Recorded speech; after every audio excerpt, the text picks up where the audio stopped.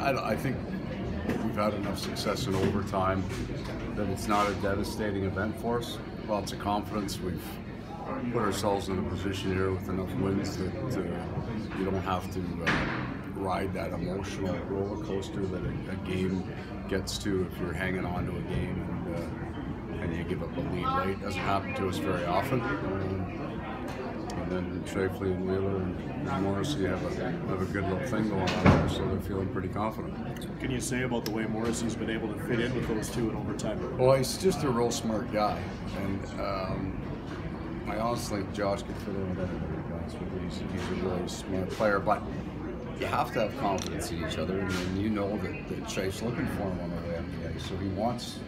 A lot of times, forwards won't pass necessarily to the defenseman, right? They'll look for each other but they were looking for Mo on the way up again on that shot, and it's a good group. How would you describe the block of games for Mark Scheifele? I mean, looks like he's got 30 points his last 18. Yeah. Really elevated again.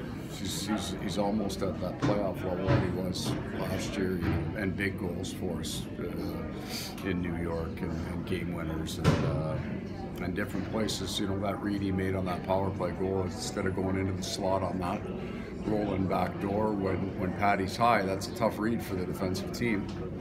So he's, he's just been great.